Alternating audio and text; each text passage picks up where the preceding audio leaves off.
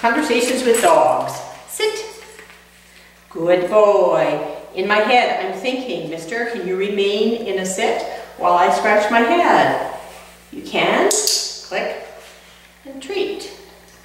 Can you remain in, in a sit while I bend down and tie my shoes? You can. Click and treat.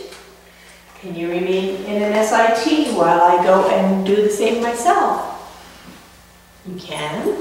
Click and treat. And now we don't give any food for Brick. Good boy.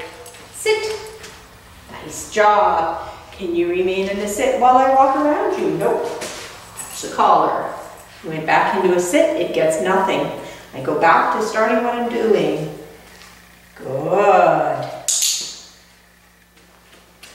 Try it again. Can you remain in an SIT while I walk around behind you? Oh, Good boy. Can you remain in an SIT while I look at the floor?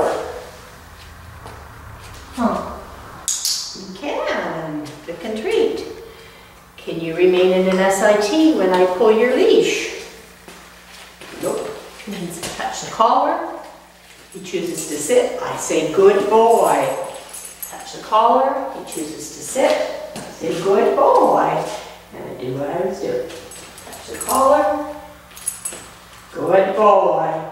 Notice I'm not put. Good boy. I'm not putting him back in the sit. He's actually doing that himself. I'm just touching the collar to interrupt getting up. Good boy.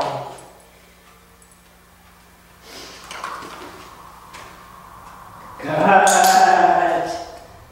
Good boy. Brick. Nice job. That was really good. That was really good. If I have to touch the collar, there's no sitting, uh, there's no treat coming. Yeah, I did say that. Brick. Good boy.